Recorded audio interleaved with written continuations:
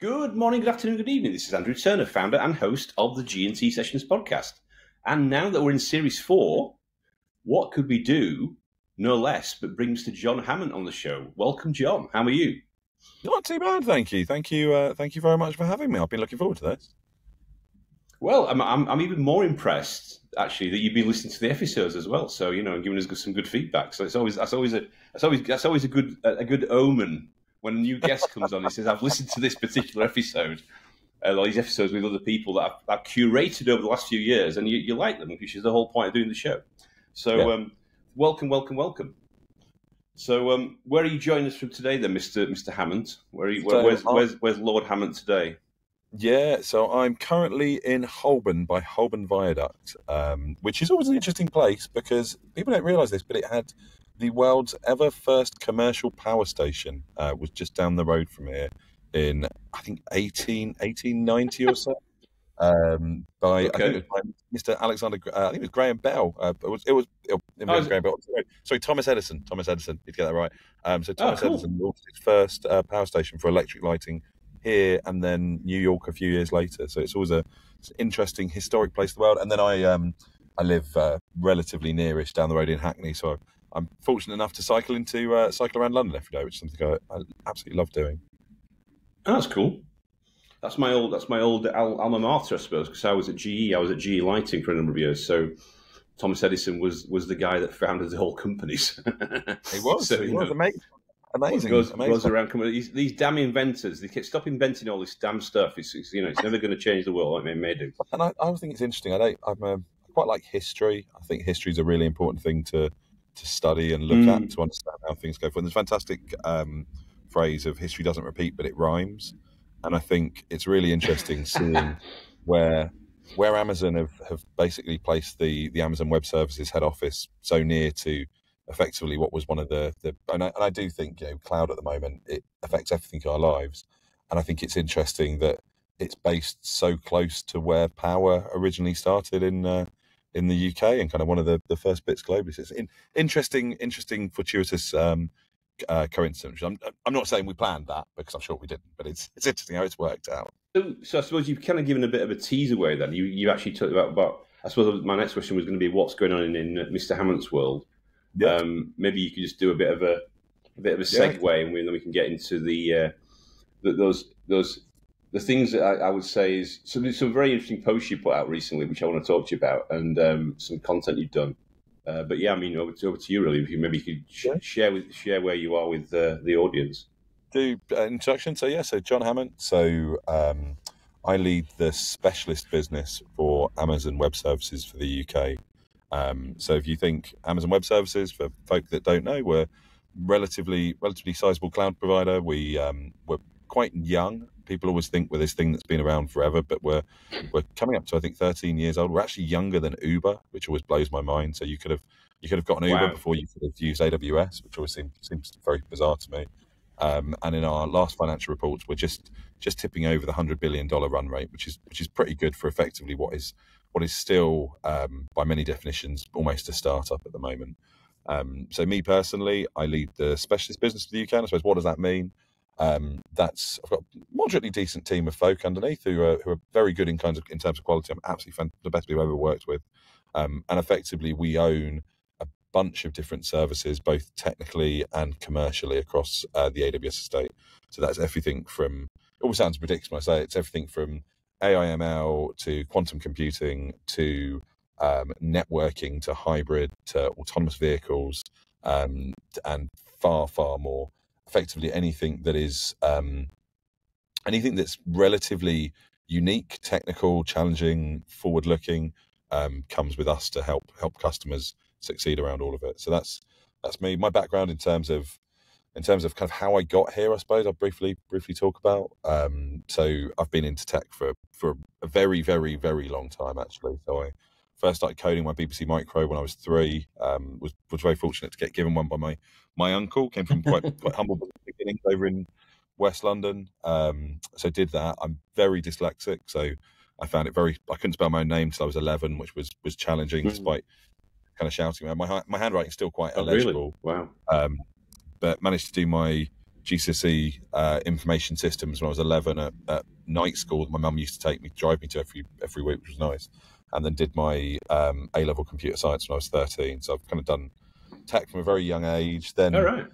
hit hit 16 and you know hormones and and stuff all kicked in and then got very into um probably too into music and going to free parties around the M25 and all kinds of all kinds of interesting the early or late late 90s UK raving of uh, which was, was quite into the world of drum and bass Oh, you were there, were you? I was, I Mm. was. You know, places like Helter Skelter and all of these these interesting things. Uh, did that. Went to It's all restarted again, though. It's all. It's all. The, the, Oh. the, the, the, I heard there was that one where they're doing that IKEA, that old IKEA location. They've done it out as, I- a, as a rave, didn't they? Something like a few months ago. Ba- I went to see Basement Jaxx there about a month ago, actually, which was uh, which was Basement Jaxx and Orbital, which was absolutely fantastic. If I'm honest, it was, Oh it right. was really good. Um, so did that. Um, then did university, computer science uni. Uh, hit 26 and um, parted ways with the uh, the girl that I'd been dating since 16, who'd been quite into some of the um, the same same things as me. And um, then then met a another woman who's now mother to three three children, my, my, all my three children, um, who kind of said, "What the what the f have you been doing for for the last period of time?" Um, and so I kind of changed directions a bit. I um I, I basically from 20, 26 onwards, I've tried to do the hardest things I can find. So my my mantra has literally been: if something's challenging, if it's difficult, try and do that. And it and it's really interesting. I've, I think I've been very lucky that I've been able to optimize my career for learning for the last you know 20 years or so, um, which has been fantastic. And that was um, so I was one of the lead architects in the London Stock Exchange. I built low latency trading systems for for a bunch of different banks, um, which was fun. So I was on that Flash Boys book people might have seen. So I was almost on the other side of that, building trading systems, um, and then went into the world of consulting. So was uh, managing director over Accenture. I think I was the youngest managing director Accenture ever had at the time, which was was kind of cool. Um, and led the DevOps business for them, and then then yeah into into Amazon. And for the past few years until until this year, I've been leading the compute business for the UK and then leading the compute business for all of Europe for Amazon. So it's so it's been a it's been a interesting whirlwind journey, um, and it's one where I'm extremely fortunate to be where I am. I, I, genuinely cannot believe I've I've ended up being so lucky doing something that I love, I enjoy, and that keeps me keeps me challenged and entertained and learning. It's fantastic. It's interesting. I mean, you- I mean, thanks for thanks for sharing that. I mean, that, that's quite a that's quite. A, I wouldn't say a helter skelter. It's more like a uh, more like a roller coaster. but um, the um, you say it sounds like you even even though you had those um, you know dyslexia and stuff like that. Actually, you took the exams prior. You took them earlier than what people normally would do. I mean, doing the A levels and O levels at eleven and uh, thirteen. I mean, that's that's pretty impressive. Yeah. So there's obviously, there's obviously something I'm- going on. All right. Yeah, really good. I'm I'm very um I think I've got an odd I think I've learned more about my brain as I go and I think it is really interesting of this concept of the only the only thing the only real thing to learn about is yourself um and I think it's you know deep deep Mm. behind all that I've been very lucky in terms of um I'm quite good at making leaps like I think I think the way my brain is set up I'm very good at almost connecting very disparate things together that people wouldn't necessarily think of um, and also from a really early Right. age, I kind of realized the stuff that I wasn't very good at, and there's there's lots and lots of stuff that I'm, I mean, I'm, there's more things I'm bad at than good at by a long way. Um, but I think the whole thing is that I've managed to, you know, like I couldn't, I've, I've managed to work out coping strategies Like for me, I, you know, I find it very difficult to remember people's names, very very difficult to remember people's names still. But if I see them and I talk to them and I repeat their own name to them, often when I see them, and I'll say, "Oh, you know, hello, Andrew," and I make sure that I do that. As weird as it sounds, that that kind of sticks in my brain more.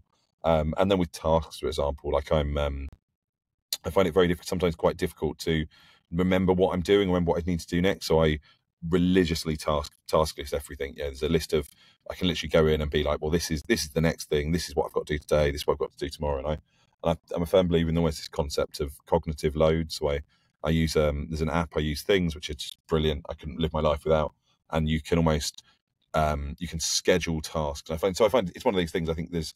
I think doing that, but I think on the flip side, um, for me, it's been extremely lucky being dyslexic. I wouldn't.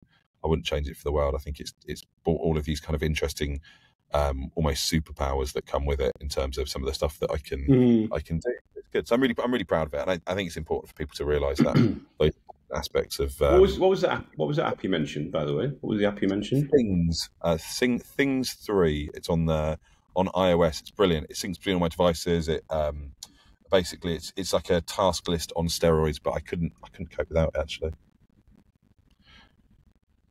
And I is that, is that um, because your brain is is that because your brain forgets what to do next, or it just it just doesn't? Yeah, I, or I, you just you just kind basically, of I find I, I find my um I find sometimes my short term memory isn't that great. I, I think I go and I and I think Mm. also um I'm probably a bit ADHD esque if I'm honest. I tend to jump around a lot, and I think actually Right. unless I force myself to write things down, they they kind Mm. of disappear off. But on the flip side, it means I've got loads of I'm full of energy. I'm you know bouncing off the walls. My my my days are one one thing to the next thing, and I'm and I'm completely fine with doing that. Um, but yeah, I do I do find that makes a massive difference actually. And do you, and just a quick question: Do you, do you create like focused time blocks? Is that is that what you do? That you you, you kind of like you you block your you block your diary out? Is that how you get through this stuff? So I think this this whole concept of so so what so I've read lots for years. It's weird it sounds of like weird weird habits I've had. I've I couldn't really when I was young I couldn't sleep unless I read a book, um, which actually although that's difficult when you're kind of 10, 11 and you find it really hard to read. It turns out if you do that for your whole life, it's quite a it's quite a good thing. Um, so I went through a phase quite a few years ago of getting really into reading productivity books, as weird as it sounds. So all these there's this whole almost subset that you can spend an amazing amount of time Hmm. reading books how to increase your productivity, which you could, could argue whether that's productive or not. And there was a um, a movement a while ago called the Get Things G, GTD, the Get Things Done movement, and it was all about you know, how you categorize your tasks. You know, if you if something takes less than five minutes, just do it now. Mm, And I've kind of was doing it for a while. Thing that I've found with all of it is I do think there's almost this context of um, cognitive load. I think I think we we we're really bad at multitasking. I think that's the really the really reality of life. And I think people tell themselves they're good at multitasking, but they're they're kind of lying to themselves largely.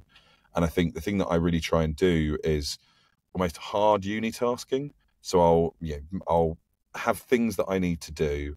I will either do them. If I'm not going to do them, Mm. uh, I will schedule that task for a different period. It disappears out of my task list, and then effectively I can look at there and be like, well, I need Mm. to do X, Y, Z, if that makes sense. And the things that I don't, I can't do now for whatever reason, disappear off to the next bit. And so, it, so I think the fact that I can feel like it's not Oh, so it, creates, so it kind of creates that kind of like that, like that kind of like laser guided focus on those ones that are still on the list. Yeah, okay. It's Yeah, yeah. exactly that. Yeah, so Mm. it's, it's definitely. I, I thoroughly. Otherwise, otherwise you otherwise you get confused with all the the, the long list, and it's like you, your brain's going, oh, oh, it. Ex- it'd be like exactly.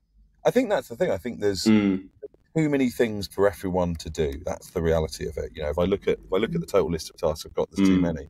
And also, there's a bunch of things that I would like to do one day. So there's lots of ideas that I've come up with where I think, you know, one day, yeah, maybe maybe one day I'll do that.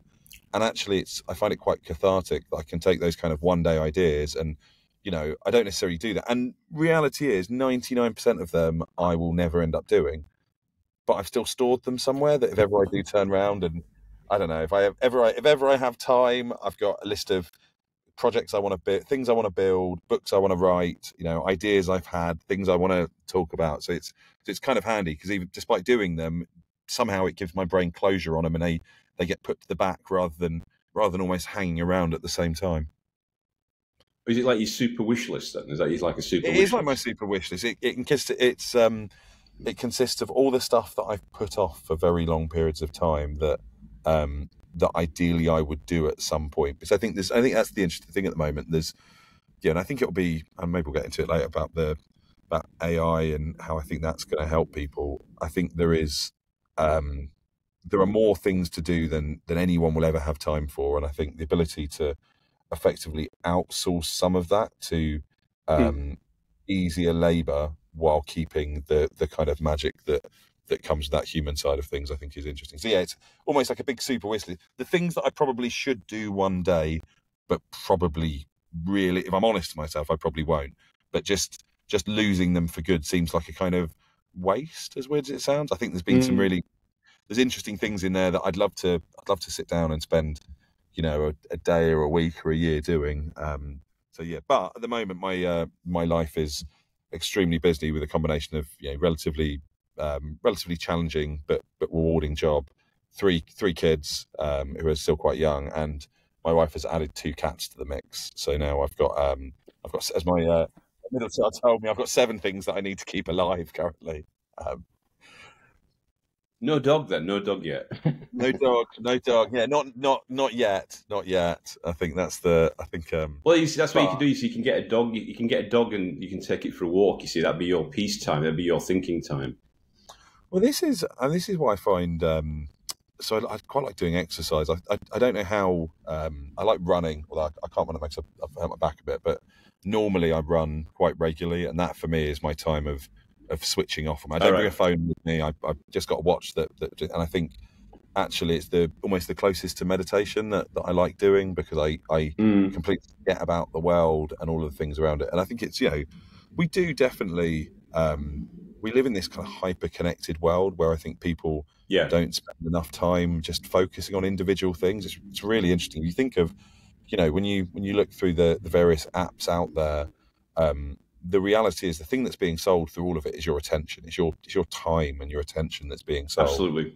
Yeah. And it's being sold yeah. in increasingly small pieces. And I think, you know, I do mm. kind of I mean like, why try and make an effort to to read. I think people underestimate actually the value of having kind of consistent focus on something of sitting down and reading a book for an hour. And I know that sounds like a mm. something that you'd think everyone would do, but it's but it's it's weird. It's um, you know I find it ama- amazingly uncommon for people to actually sit down and and read. As sad as that sounds. Show you a couple of ones I'm reading. Uh, this is always good read. Ah, I've read I've read that. Yeah, I read that as a child. As weird as it sounds, this is why I think I was quite a strange child. If I'm honest, I, remember reading it. There's some very then, good things then, in it, though. Then this, Get the mountain you oh, no, There's some brilliant, some yeah. brilliant principles in there. Yeah, but this one is a very good one. Yeah, I like Spike Milligan. I do like Spike Milligan. Exactly. Spike Milligan's meaning of life. So that's like two. That. That's two in my in my my happy flappy box or bag. No, I'm.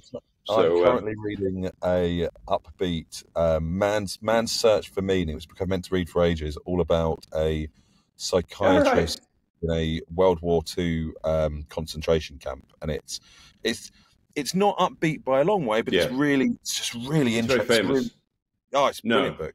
Brilliant, one of the best books I've read in ages. Actually, mm. I've got that, and then mm. What's the other book I was reading? Um, I've got a book by the co-founder of DeepMind that I was my ne- is my next one, and a book about material science actually, which I, I quite like. I quite like material science. I must admit.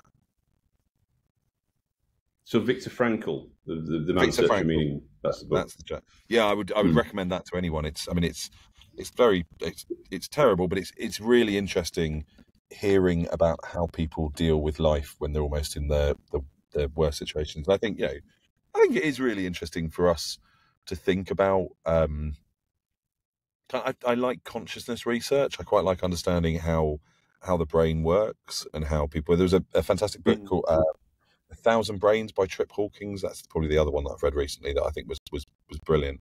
Um, who has the the best almost humble brag in that book I've ever I've ever read in my life, where he um, he talks through about how he used to he was quite into neuroscience, and then he he made a small startup, sold the small startup, and then went back into doing neuroscience. So I was thinking, I definitely recognise that name, and you look in, and it was Palm that he founded, and then sold for somewhere in the region of I think 20, 20 billion or so. Um, so it's a it's a fantastic book. Absolutely what fantastic. what Palm the Palm Pilot that, that, Palm that Pilot. Of, so the the, the founder of the founder of Palm, one of the co-founders of Palm, um, effectively has a neuroscience research lab and has done some really interesting research onto the um, uh, the evolution of intelligence and how that applies to neural networks. It's absolutely absolutely fascinating. That's very interesting. I mean, I don't. I think you reposted Linus's email, didn't you? The or post on, on LinkedIn. I think you the, the one with the, with the other day. I reposted it as well. The one about the um, you know, the, about the Palm Pilot. Actually, I think he's put it put it out there. Yeah, yeah. I mean, the it's. I mean, it's. I think it's really interesting to think forward um, because I do think we're. I mean, I think tech is an interesting, very interesting. area. It's something I've I've done my whole life. Um, and I think we are at a uniquely interesting time of it. So I think there's almost this concept mm. of if you look at um, industrial revolutions, um, and it's again, it's really interesting looking back at history, first, second, third industrial revolution. You know, industrial revolutions tend to happen when there's a new general purpose technology. So when something turns up, which doesn't necessarily immediately have a um, a core or singular use case. So you know, if you think of electricity, for example, or you think of mechanization and steam power, it it has some uses, but actually some of those uses weren't weren't necessarily instantly instantly viewable. Um, same thing with electricity mm. and the mechanization of factories. It's, it's, kind of not exactly always there. And same in the, the third. And I think now we're at an even more interesting revolution that's happened before because most of the time, those prior rev- revolutions, there was kind of a smaller number of these general purpose technologies. Um, mm. And they always normally come with societal uh, change at the same time. The, you know, if you look back from the, mm-hmm. the kind of urbanization or the um, you know women entering the workforce, there's all kinds of interesting things that happened at the same time during a lot of them. And I think the difference we have now is that it's not just one general purpose technology or not just two. There are a whole bunch of them coming up, really landing within within a couple of years of each other. So you know whether that's either um, AIML, whether that's cloud computing. I think that ability to, to access power on demand at, at large scale. I think quantum computing is going to have massive impact. Um, and I think actually the reduction in space launch cost, cost is going to be going to be absolutely unbelievable. And they're all kind of kind of hitting together. And I think the, the there's uh, a thing called the Penrose gap. So the Penrose gap was the time it took for um, quality of life to go uh, back to kind of where it was, as weird as it sounds. And if you look at the first industrial revolution, the the sad hmm. reality is the average quality of life for people was worse during the first industrial revolution. It was worse for quite a quite a period of time. You know, talking 90, 100 years or so that actually people's lives got worse because uh, they went from hmm. you know relatively stable kind of farming agricultural lives into these kind of you know pretty pretty hellish places and yeah, that's happened. Oh, you mean you mean with the you mean the factory, the, the, the Taylor kind of modern, the Taylor Taylorism and all that kind of stuff with the factory exactly. model. Exactly, mm, exactly. Okay. The average person's life, and I think you know it's interesting as we as we kind of come into the fourth industrial revolution. It's it's genuinely important for us to make sure that if there is that if that same thing happens, that actually people's lives get better as quickly as they possibly can. Um, because I do think there's yeah there's there's definitely interesting consequences that that exist around a lot of this. Um, and I think that's something that that kind of is on all of us to to make sure that we we resolve as quickly and as beneficial as we can for for kind of all of humanity. Um, and it's kind of a fun thing to yeah, be in the middle of it. I mean, that's that's why that's why I enjoy what mm. I'm doing. Yes, if I'm honest. Well, it's kind of like I mean, I, I, so what you're saying is a cycle time, the actual from the from initial initial, it's kind of collapsing, yeah, yeah. But it's also the kind of S curve of innovation is kind of like accelerating as well into the actual angle of it. Exactly. It's kind of like the, the, kind of it's a combination of both those um, plus, like, I mean, I, I, I, described it as. I mean, I, was in. I went to a. Uh, I presented at a conference last last year in in uh, Copenhagen mm. about the. I called it Beyond Gen AI. Yeah, mm-hmm. talking about what's what what's uh, happening, and basically it's talking about you know the whole thing about um, you know role definite role role changes, job changes. Yeah. Uh, you know what what really you, you know there's all this tsunami of marketing, but actually where are you going to apply it? yeah, for real real use cases, yeah. it can have a real difference. And how do you measure and manage it? How do you manage to transition to that? Because it's it is a bit of a black box. You know, some of these are a bit of a black box, so it's a bit scary for some execs. So how do you help that transition? How do you educate people? Um, and also, you know, if you don't change, it's a classic Charles Darwin thing. You're going to get it's going to be roadkill. Yeah, you get, you're going to get run over.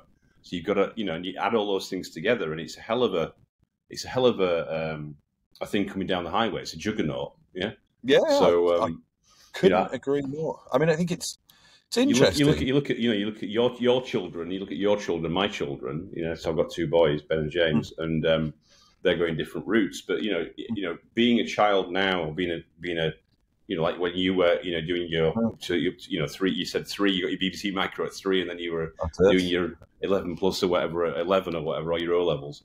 You know, if you look at what, what those kids are going through now, I mean, it's just it's mind blowing. I mean, you know, the thing they can do on I'm not going to mention any products, but you know, those different those different things that ends in T. um, there's different cons- consumer facing products, yeah. That that basically oh. it's just it's basically it's like the iPhone effect, right?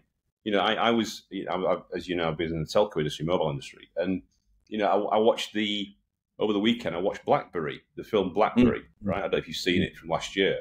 It's absolutely mind blowing. It's an absolutely mind blowing film. I'd definitely recommend to go and see it because actually yeah. I had it. I had you know those Blackberries, you know, with the, the keyboard, and literally it shows the time. It shows the time when literally Steve Jobs did the keynote and he wow. released the iPhone, and it shows them all in the office in in in Waterloo, Ontario. I think it was in Canada, mm. and there's like the CEO and all the founders, and they're looking at the screen, they're going, and, and you know, there's no keyboard basically. They went from like you know the trio, mm. the crap, you know the BlackBerry yeah, yeah, to yeah. like the full screen, and they're all going, "Oh my god, oh my god!" And then literally the founder went into his office and he starts breaking up these all these different devices and trying to create a full screen version, right? Then he, they fly to New York. He flies to New York. He tries to convince convince for Verizon that oh this this screen stuff, you know, screen full screen thing, it's not going to work. It's not the way forward. But then he says, oh by the way, we're going to be releasing a full screen thing, a full screen device surely. So basically, he, he, he kind of dis, dis, you know, discounts the competitor and then says, "Oh, we're going to do it ourselves."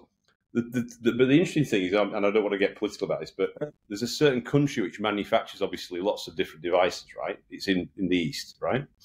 And he, the, interesting thing about BlackBerry, I didn't know this, they never want to do manufacturing in the east. They want to do it, you know, basically control the quality.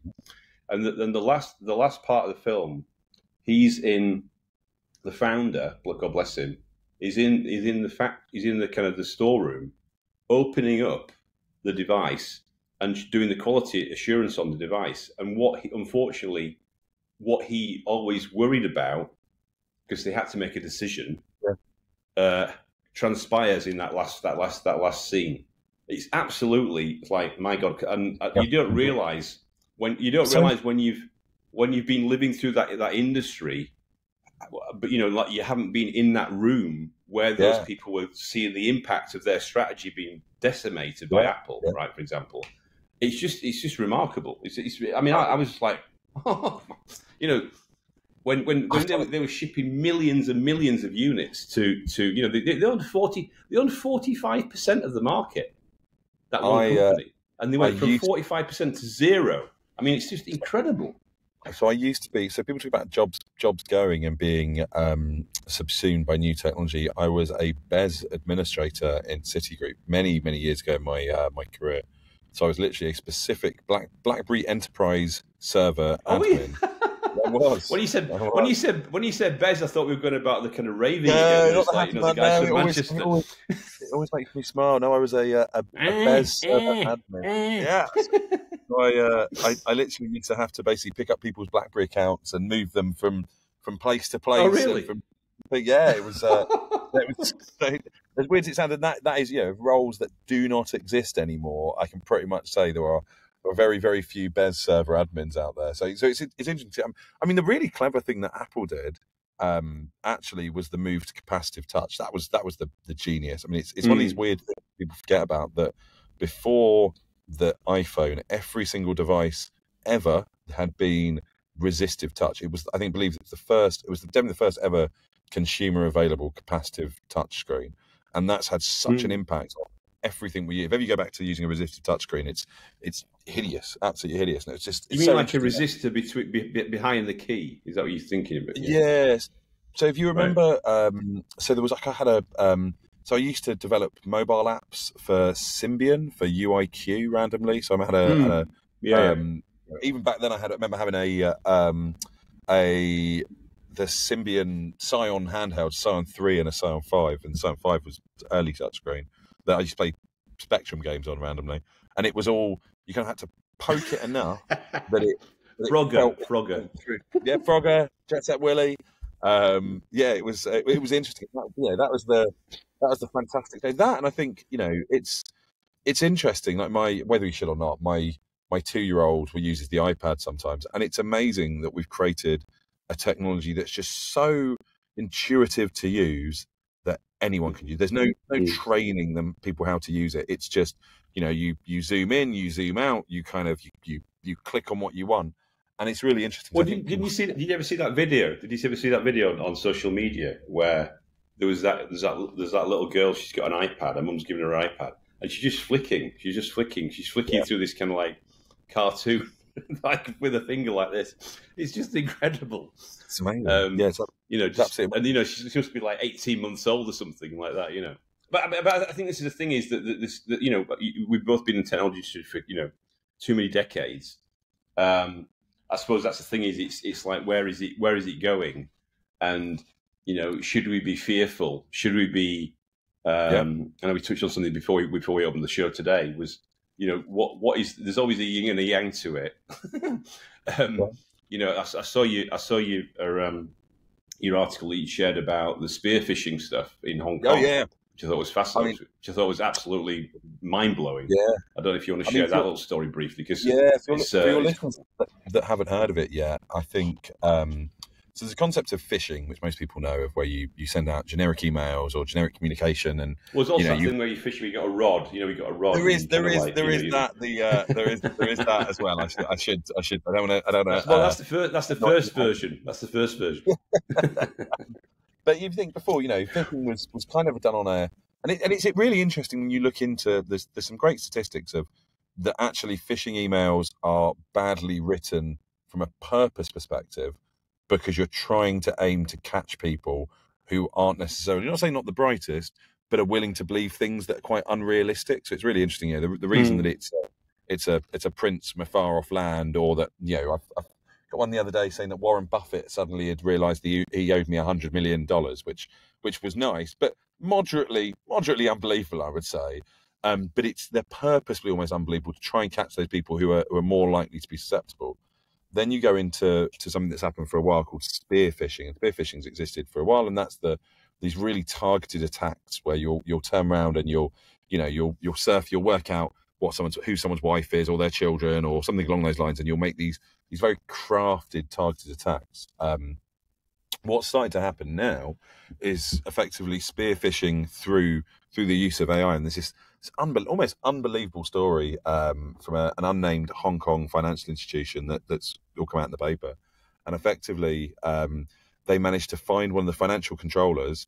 He had a 15, 15 person Zoom call uh, with 15 other people who he thought were, were com- uh, company employees, including the CFO and um, what happened is someone had basically using um, some publicly available videos, understanding the organization, um, and deep faking it. None of the people on that call were real, which I just find it's just mind blowing. So effectively, he was having a conversation with 15, 15 faked versions um, and went through and transferred 25 million for a secret project effectively to uh, to the, the fraudsters that were doing it, which is just which is amazing. And, it, and it's interesting thinking now the time and effort that would have taken. It would have been significant to do it.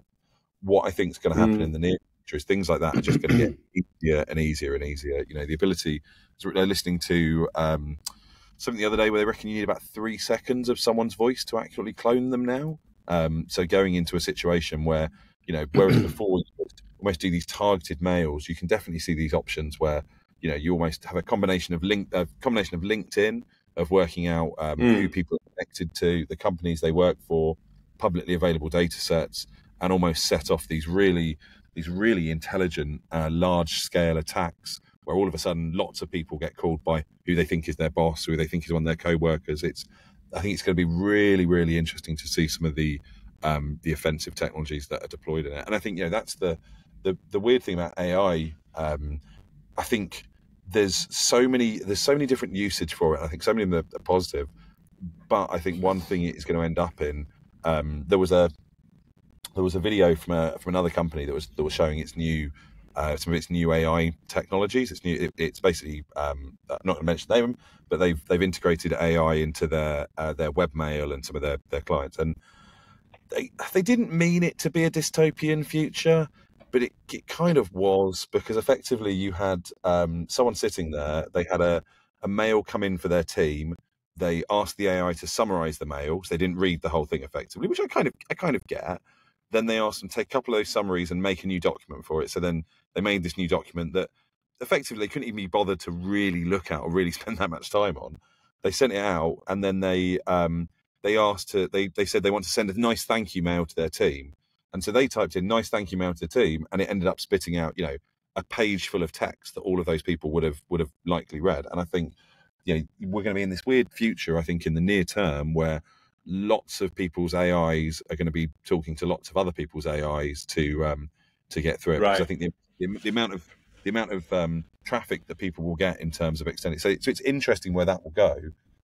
But I think fundamentally, the ability to have, you know, a teacher that always cares, or a, a person that knows you better than your sorry, not person, a um, a system that knows you better than yourself almost, and your your goods, your bad points, your the way you learn, that kind of you know real augmented human style of thing. I think is you know, for me Mm. is extremely extremely interesting. I think if it's done right, it you know, it has massive productivity gains and fun and interesting things that can that can happen for the benefit of everyone. how- So, I mean, we, we touched on this before as well, but how do you how do you put in the oversight?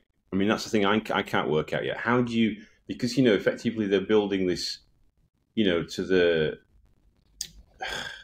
that future point in time where you know the super intelligence you know becomes uh, that that's the thing that you know. I mean, I, I don't want to say that there's a connection between the future and Hollywood, but you know, Yeah. some of this stuff is actually is that you know, you know, um, you know, are we getting Arnold, Arnold out, of, out of kind of, um, you know, be creating a, a, a, deep fake of Arnold Schwarzenegger with his uh, Terminator thing because he's, he's actually that that's the thing I can't work out yet, or I'm not really aware of it. Maybe you've read some books about it, but it's like, um, how do you keep the appropriate? You don't want to you don't want to control it like a bureaucracy, but you also because you want to unleash that the power of it, but also how do you govern it? Or how, I mean, govern implies bureaucracy implies you know slowness and not speed. I don't know. It's, it's, it's that kind of difficult. Difficult. It's like how do you get the balance right? I suppose.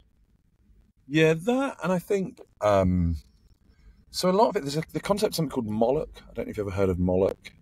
It's quite an interesting concept. That's a fishing. We're going back to fishing. We're going back to fishing again, are we? I know that's Is that Pollock. Pollock? Pollock. Mo- Moloch is a um, Or mollusk. Mollusk. I was thinking.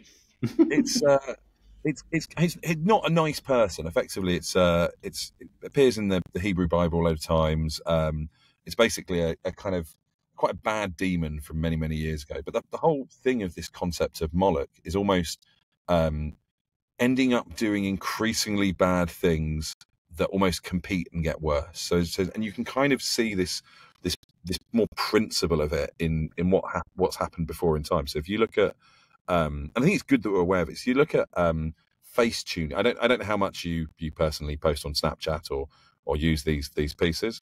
Um, but there's All this the time. In fact, as soon as I come off this episode, I'm going straight on that. Yeah. There's all these concepts of um, beautification filters, so you can kind of put a filter on your face that makes you look more attractive. And the reality is, no one really wants to use them. It doesn't doesn't really have any benefit for one person to use a, a beautification filter. But what ends up happening within the market is, as soon as one person uses it, or one person uses it on their Tinder profile, or however people date nowadays, then all of a sudden everyone else is almost um, disadvantaged as a result of it. So then, actually, all of a sudden the market Right. readjusts. So it, it levels people up. People people Exactly. level up. Yeah. Exactly, and it's almost it's almost the negative. It almost kind of brings people you down. By the way, you shouldn't be. You shouldn't be saying that you're going on Tinder but on the, on a public definitely podcast. You know, I mean, you, Yeah, you know, you should, Of, uh, of thing, I, ha- I have uh, enough busy enough in my life without anything else. I can assure you. Um, but yeah, it, but almost you end up with this concept that this this almost race to the bottom that comes around it because suddenly then everyone Mhm. starts. You if you don't use this, you you're disadvantaged, and then okay, well once you get Yeah. to that point, well. Well, actually, maybe your profile pictures. Well, you know, actually, maybe it's not just your face you want to change in the profile pictures; it's the background ones, and you you kind of get in this downward spiral. And I think um, Mm. yeah, we've had an interesting. So, so I think humanity has had some of its first um, experiences of large scale AI with social media. I think the Mm. the rate for attention that happened with social media, I think, was absolutely fascinating. Where yeah. you know, people being the product. Um, and I think you could argue there's been there's been some very good things that has come out of it. I think actually people feel connected in certain ways, but then there's also been some some more challenging things that have happened around it. And I think we need to we need to kind of realise what happened previously, and work out how we make it better this time. I, I really think it's it's really important because I do well, think well, that's that's the thing because I think all all the all the um, you know there's a lot more dialogue now about that social media was you know has been you know handled badly you know executed badly and it's affected generations of, of, of individuals. Humans on the planet right? Um, you know I I uh, you know I, I, had the pleasure of having uh, you've probably seen the social dilemma uh, the film yes. the social dilemma you know the one was on Netflix yeah so uh, Joe Toscano, who wrote the oh, book amazing. Automating Humanity, he's going to come back on the show Oh, um, he came on the show about four years ago, and uh, he's going to come on the show again. He's doing something very interesting now. But he was working with Tristan Harris on lobbying the U.S. government, and he's actually in the show. He's actually in the film with Tristan. You know, when they were talking mm-hmm. about all the ex-Twitter guys, Facebook guys, Meta guys, etc., etc. And it's just, I mean, it's just uh, some of those scenes in that film are just incredible, especially if you've got uh, you know children and a family. Uh, about the reaction of you know not having that that you know that device that device yeah. in your hand. Yeah. Yeah. so you know, there's a, there's a lot of culpability there. But yeah, what what is what can we learn from that social media phase? that's still going on. That's still going like a tsunami. And what do you do for the future? That's the, that's the thing. Yeah, that's, the, that's the I think that, conundrum. So so what do I think is going to happen in the long term? I think part of it is around diversity of models. I think it's, and I think some of it comes back. I think I think some of it will probably happen by default, but I think it's it's important that we we actively move this direction from my perspective. So, you know, I think some of it, some you can always look down to um, what a if you if you I think if you start to look down as to what intelligence is, I think you can see interesting commonalities in terms of the way it's being delivered for us. I, I'm I like I like fractals personally. I think fractals you see everywhere from whether it's from the, the leaves of a tree looking like, or the roots of a tree and the smaller bits looking like a big tree in itself, or whether it's like coastlines or pieces like that, like efficient systems end up mm. being fractals to a large extent. And I think when you look at intelligence, intelligence in itself is is very much a fractal system, both across mm-hmm. individuals and societies. I mean, it's you know, if I think to myself, what is the most intelligent thing that I think exists? and I think it's human civilization. I don't think I think all of human civilization is far more intelligent than than, than one or or specific individuals. And I think it's interesting when you think about um, humans in yourself. So in terms of you know what makes what makes me me, what makes the intelligence with me, I I don't believe there's one single piece within it. I think actually there's lots of different bits within my brain that have have kind of intelligence and a voting network that sits over the top of it. I think there's the most there's lots of mm-hmm. lots of good research that kind of says that. And then you forward to neural networks and what's happening at the moment, where we're kind of coming into these interesting positions where we've got these these giant foundational models, and they're you know they're huge, absolutely amazing what's being done, but they're almost these kind of islands of intelligence, and I think those islands of intelligence mm. are more challenging. One, because I don't think that's an efficient way. I think nature has nature has kind of evolved the most efficient outputs of these in the long term. But then two, by I think having these individual islands of intelligence you lack the diversity of thought that an overall system has. You know, the, the, one of the fantastic reasons that humanity has lasted so long and been so useful is the fact that different people have different views with a voting system, which yes. is the moment capitalism that, that, sits over the top of it. So, so what do I think? Um, where do I think this fits in? I think actually diversity of models is really, really important. I think that's one of the things that that I think is is definitely coming through, and I think it's it's interesting how how that's kind of balanced with this concept of either open weight or because they're not really open source or open weight models. I, I'm a firm believer personally in, in open weight and open source. I think it's important from a model perspective. It's, it's really important for humanity that we don't end up with just a couple of co- companies that have effectively closed sourced their models. I think that's more risky than the side of it. Um, but I do think it's, um, you know, where do I think this will go?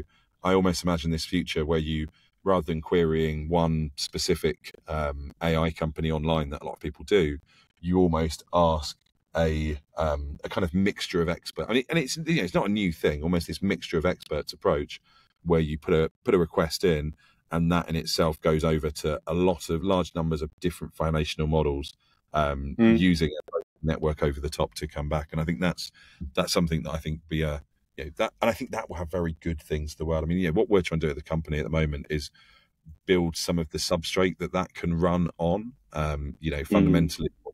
what we we're doing, a lot of the work we're doing at the moment now is to is to build the the infrastructure and the way for people to to build pieces like this. But yeah, I think there's I think that's the way you the way you kind of have a happy ending of it all is by making it fair, making it diverse, make it a situation that actually everyone can help create and do these things. I think otherwise you just you kind of get this weird situation. I mean, what the, the one of the biggest one of the biggest I think um, for me indicates the health of a society is almost social mobility. I think the ability for people mm-hmm. to go both up in terms of um, their position and down. Yeah, that, that's the reality. People that people some people yeah, go down. I think that's the right thing. And I think as we go into AI, we need to make sure that we don't just concentrate those that kind of model um, that model uh, specificity specificity um, into a into a small model, number of models owned by by large um, large individual companies. I think that diversity is really really important for it. I think that that will end up with a a better long term outcome from from everything I can see. Yeah, so you move you move everybody up effectively. You don't just move certain a certain segment up. Yeah, yeah, and exactly. Well, I mean, exactly. we could get into some very very politically uh, touchy subjects there that based on recent events in Davos, but I'm not going to go there. yeah, yeah. Um, I mean, so I think so. I think that's yeah. I think that's the way to do it. I think you know, regulation is going to be interesting for AI because um, mm it, you know, you you need to. I think we don't want to over regulate something too soon, but I think there does need to be some regulation around it. Um, and I think mm. also it's, you know, we don't. There's there's there's certain things where we need to we need to worry about using stuff now and taking advantage of it than than maybe worrying about the the maybe the, the future that, that may or may not come. I think sometimes that saying it's it's important to do it in a safe. Yeah, I mean you can you, you can over, it's like it's like you know if you've got a startup or whatever you know you can you can undercapitalize it and you can overcapitalize it. I think you can you can you can undergovern it and you can over overgovern it and you can stifle that innovation and that kind of like the the you know the failure and the white space and yeah. all that kind of good stuff. Um, yeah, I mean, we, so I think that's, one of, one of the one of the, the, challenges we see startups doing a, a, a, bunch of times is they they try and solve problems they don't have yet, and we've seen that all the time mm. in startups where we'll we'll talk to people and they'll say, right, you know, we want to design this thing, it needs to scale to a million users, and we'll kind of say, well, you, you can do that, but actually, if we talk through, you're you're probably only going to have a thousand users on the platform and that million mm. users is fantastic and aspirational but if you get to the prob if you get to a million users you can just fix it then just just get the thing to work for, yeah, the, yeah. for the thousand users and i think yeah, we want to make sure we don't do the same issue with ai of of worrying about you know what's going to happen um, if if suddenly you know this this agi or, or sgi turns up and actually we look at solving mm. problems um, that exist exist now effectively yeah, I mean, it's quite funny what you just said about that capacity planning thing. Um, it's um, based on the, the, the amount of time it takes to provision services from your your your outfit. That's not really an yeah. issue. Before it used to be, okay, I need to raise a purchase order, and then we need to manufacture the servers. then we need to install Linux or whatever. it's like, see in about three months. You know, like exactly. around three minutes. it's just like get some relativity in it and I think that's the you know I think it's I, I read um, I think I think people need to make sure that you reduce the requirements on a system like the this this whole concept of people people sometimes get get lost with what the MVP or what the most you know the easiest thing to do when you're to, the easiest way to be successful when you're building something is to need less need to build less to be successful you know if, if you're trying to mm-hmm. build mm-hmm. a mvp the, the key piece on that really is people build, build try and build these uh, almost VPs, these viable products.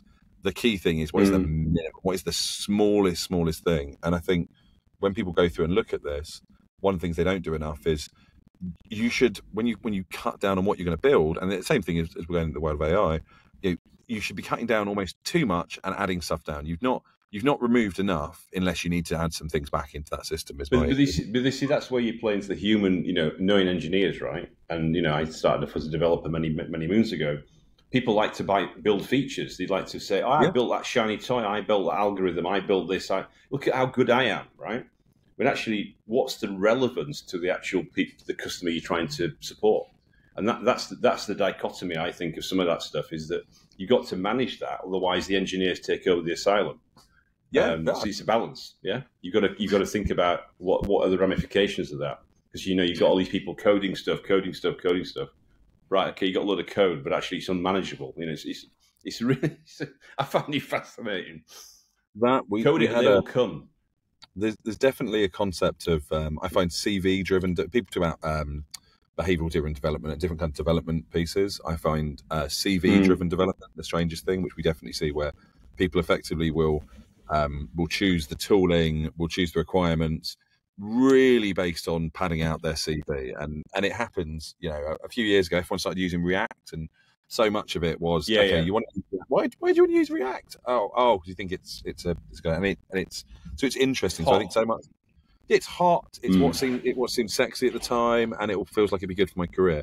And I think um, I- I like realism. I think maybe maybe maybe it's because I'm very dyslexic. I don't know. I find it very difficult to um, to. I can't lie at all. I'm very like transparent on what I think, um, and it always Mm. seems bizarre to me that people the the mental loops that people take to almost convince themselves reasons behind why they're doing, when really it's really obvious they're doing it to, to, to kind of benefit themselves in ways that don't benefit us. It's it's it's fasc- it's absolutely fascinating. Well, I, I was, I, I mean, I'm, I haven't read, written this, but I was, I was considering writing a book. You know, remember that, that book? You know, men are from, was it women are from Venus, men are from Mars? Yeah. So I was actually going to write one like, uh, developers are from Venus, you know, um, testers are from Mars. It was like it's kind of like because you know that I've been working, you know, I, I run a run a London testing meetup group, and um, Yeah. this like um, the, the testers were always felt like they were being picked on and you know not not being valued as much as a develop rock star developer. I said, well, yes, I'm a rockstar, I'm a rockstar tester then, because you know if you don't, you, you, know, you code you code it, but then if you don't test it, it's, it's you know, especially with these time apps, it's disaster, right? It's complete complete car crash. Well, so um, I, I think you almost have this interesting situation. I mean, we we do. Um, so I've I've started doing all my development um, using Code Whisperers, using a Gen AI tool alongside, which is which is really interesting. Actually, I, yeah, the one thing if people people are technical and listening to this, I'd, I'd recommend using. And there's there's you know, there's a number out there. There's there's uh, Code Whisper from us. There's GitHub Copilot. There's all there's some open source ones you can use as well. But it's really interesting, kind of developing alongside this this kind of slightly different intelligence that, works. It's not it's not like pair programming with an actual person. It's kind of like pair programming with a kind of almost weird savant, the idiot savant almost that's that's working alongside you. But one thing on the testing side of things, actually, it's interesting. Will will development actually not disappear, but will development scale down and testing scale Mm. up? Because it's definitely a piece where I think Mm. actually it's easier.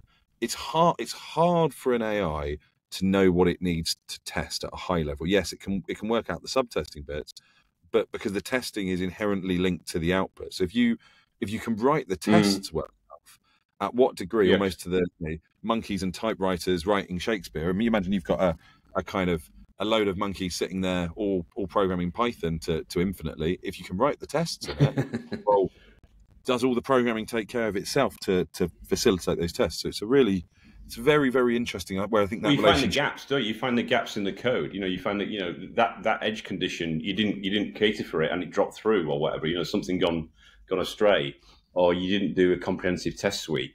Um, you know, I think it's fascinating. I think it's fast, and more, more and more people are um, are becoming aware of those ramifications. But yeah, that was a bit of a skit that I was going to do a few years ago. That's that thing about my my my own little wish list. Um, obviously, besides reading Spike Milligan uh, books for inspiration, um, the um, the one of the things I was going to ask you about was um, the in terms of uh, you- we have this concept called pearls of wisdom, and I think you dropped quite a lot of pearls of wisdom today. Actually, it's been a very very interesting episode. Was what if you were going to you know you, you've been through this kind of you know roller coaster of different things you've done. Is you know are, are there any reflections on um, maybe you you know you got your special wish wish list or your you know Yeah. your wish list, but maybe you've got your maybe your learnings list. What, Ah. what if you if you if if you if you any ones that you think spring to mind that could help the audience? I suppose when they as they are embarking. I know it's some things you have to experience yourself, but any thoughts on that? Yeah, no, definitely. Um, you know what? Do, what do I think? I think um, I think optimizing for learning is something that people don't do enough. I, I, I really do think that. I mean, I feel that um, the the brain is the brain is a muscle. The brain is a twenty watt, effectively, you know, high capacity muscle. Um, mm. What people should be doing through their career, and I think now even more so. I think that you know, the fact that you know, the one thing I can definitely say is that the world in the next twenty years will be different from how the world is today, and I I would make a bet that the world in the next 20 years will have changed at more of a rate than it did in the last 20 years. I, am pretty pretty sure yes. of that. That's the things I'd bet on. Mm-hmm. And so I think ever more importantly, it's important to do things that enable you the chance to optimize and to learn. And I think that is yeah, something people don't do enough. People don't spend enough time. People don't spend enough time reading. People don't spend enough time listening. I love long form podcasts. I think they're really, really useful. I think people don't spend enough time doing things like that where they they kind of expand your mind. I think that's one thing that that I've definitely seen.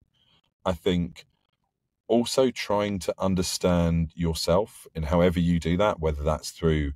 you know personal expansion, whether that's through kind of taking time, but I think it's really important to understand you know what what you're good at and what you're bad at and i think it's really useful to be able to be mm. transparent about that like i i love the fact that the people around me know what i'm rubbish at and they know what i'm good at and i'm totally fine with that they you know i don't there's no i'm not i'm not trying to hide stuff if that makes sense because you're not hung up on it yeah no exactly i've, fa- I've failed more times than you can i mean i think that's probably the best thing that came for me from dyslexia is i just failed so many times there's so many things that i've I remember being told thick, but I'm thick. I remember not being able to do things. I remember mm. so much. I failed more than anything else. That one I really have like I've done so many interviews that I didn't get. I've had so many missed opportunities that just didn't didn't work out for other reasons. And actually, failure is is kind of as weird as it sounds, probably one of my superpowers. I don't mind failing if I if I get to a point where I stop trying things, then then you know that's that's the reality. That's the that's the wrong thing. I mean, you know, life. Um, people sometimes say life is like baseball, so they'll say like life is you know you you don't, you don't get the ones you don't swing for almost. Well, well, life is even when you actually think about how baseball works, it's different from life. So far as yes, the analogy works and it's the same, but baseball has um, what's called a uh, truncated outcome distribution. So effectively, if you imagine the most you can ever if you if you hit a baseball in a in a in like World Series, the most you can ever have is four is four runs because bases loaded round, round there. Normally, the most you ever win is win. So you have this. Yes, it's con- so it's constrained basically. Yeah, exactly. You have this truncated. Hmm. Life is totally the opposite. Like life has a completely non-truncated outcome distribution. There's so many things you'll do that that don't work, or some things that will work a bit, and then there'll be once this once in a million idea, or once in a you know once in a thousand idea that is world changing. And I think people need to realize mm. they need to they need to take risks. They need to be willing to be prepared to fail, and prepared to do things that that they weren't. Um, that and then I think the final thing that I learned, um, which again I'd recommend everyone to do. So I, so I think until um, I remember it really, really vividly. So I was working in uh, Credit Suisse, you know, large, large scale bank, um, working, running a load of their DevOps stuff at the time, and I, um, I was going through. They'd invested a load. Of, they, they'd done a load of stuff. They had a big project that was ongoing, and I kind of looked at this, and I almost thought, okay, there's a there's an issue with the structure of it. They're they're effectively they're adding additional systems on to test together. And actually, to a testing issue, there was almost this this kind of square of complexity that was happening. And I kind of looked at it and went, well, if you keep adding systems on, every you have you know two to the power, it's, it's almost to start extrapolating into extrapolating the problems you're introducing. Exactly, mm. exactly. And I realised no one had noticed this. No one at all had noticed this. and so I kind of went, well, it seems like a really serious thing. And I, I went, and before that, I'd kind of done what people told me to do, as weird as it sounds. And so I went off and I basically went, well, okay, I'm going to write a paper on this. And, you know, as a, as a contractor, you know, effectively, you're, you're, you're there to do what you're contracted to do, if that makes sense.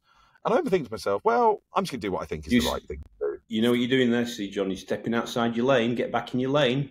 Oh, listen, and you know what? What was weird about it? So I went. I, I, spent two weeks building this, writing this document, and it had what I thought the problems was, what I thought would change, and it had you know what I thought we should do about it effectively. And I remember giving this this paper that I'd written. My my boss had wondered where I'd been for the last two weeks. I remember giving it to him, and he, he kind of, you know, who's who's told you to do this? And I kind of went, no one's told me to do it. I thought this was a, I thought this is what we should do. And he, I thought he was going to tell me off, and he turned around and said that's amazing. That's brilliant. We need to go and show someone else this. And then we, we kind of went off and we showed this to someone else, and they, they they said exactly the same thing of like, who who told who told him to do this? And it was like, no one, no one told him to do this. He's just he's just done it.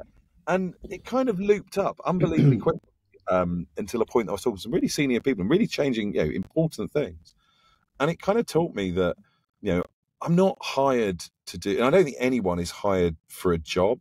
I think people are hired Mm. for who they are, and I think people lose track of that a bit too much. That the most Mm. important thing for people to do, things people do, both for their for their happiness, for their direction, is is what you think is the right thing. And I think since then, I've, you know, Do I the try right not thing. to do the right Mm. thing. It sounds really, it sounds really easy, but actually Which doing is a what very old, which is a, which is a very old Viking phrase called Dorath. Yeah. I don't know if you know that. no. So, one of my friends, one of my friends in in in, in Denmark, gave me a book that was talking about that. Oh, That's that's, that's, that's, a, re- that's a re- that's a really good one. I mean, I think it's like no, no, man. You know, it's like Dad's army. It's like Mainwaring. Go back. You know, file back up. Yeah. Don't don't don't mention that. Don't mention that thing. That, that good idea you had. That initiative. No, no, no. Don't take an initiative. Get back in. You know, salute, salute. Yeah. Yeah. it's just it's hilarious. so I- and I think that's the thing. So I think you know, the more I optimize my life to do what I think is like, do yeah, obviously listen to other people and take take stuff on board, but you know, do Mm. do what you think is right. I think people only know you are the closest to knowing what you need to do. That you know, at the end of the day, the people that you you have more hands-on experience doing things than other people, um, Mm. and I think that's think that. You know, I'd just love to see people do more of that and learn, like learn, take advantage of all the stuff out there, play with things. Like, you know, you can go online and spin up a quantum computer. You can build an AI that that's you know it would have taken years. There's all this cool stuff people can do, and I think there's massive value to that experimentation and play around it. But yeah, that's it. Have fun, have fun, work hard, make history. That's the that's the goal. make a dent. Yes. Make a dent. Yeah, exactly, exactly. exactly. Read more Spike Milligan. Laugh a lot. Agree with you on that. Actually. No, yeah, it's, quite it's quite good actually because you know it's like even you've even got a quote on the front here. Milligan is the great god to all of us. John Cleese. I mean, what a fucking great sort of what a Yeah. great great quote that is at the end. I absolutely um, love that. Oh yeah, here you go. The godfather of alternative comedy, Eddie Izzard. There you go. What a Well, quote to finish on. as weird as it sounds, I think this is the this is the thing that people forget about books is it always I keep trying to tell this to my daughter that it's if you imagine um like orange juice almost. I look at a lot of these things where you've kind of orange juice is almost this concentrated orange that comes from things squeezing. There's I I love reading because I almost feel that it's these people's intelligence just squeezed and concentrated over a really long Mm. period of time Mm. and it's just there for you to consume as weird as it sounds and Mm. you get all of the nutrients without without the work sometimes within it um, yeah, yeah, exactly. Well, I look, for, I look, for, I look forward to the Lord Hammant, you know, bringing his next book out or bringing his first book out. it is on it You is know, definitely you on got the, to, back, you got it's to on the tick it. You got to tick it off. You got to tick it's on the backlog. it's on the Trello board. Yeah. Okay. excellent Well, it's been a pleasure Thank you. enjoyed this Thank you very much. Yeah, that's my line. That's mine. It's still my line. That's been, been a pleasure from my side as well. no, thank you. That's been Jon Hammant, um, technology savanteur. I, don't, no, I didn't say uh, savant. No, so technology savant, I should say. Um, and thank you very much for coming on the show. It's been it's been a really good episode. It's, we, we we traversed a lot of different topics there, and um, I know that it's taken a while to get on the show because I know you're a busy boy. Uh, but really nice way to start 2024, and uh, let's see where it goes. Cool. thank you very much Thank you.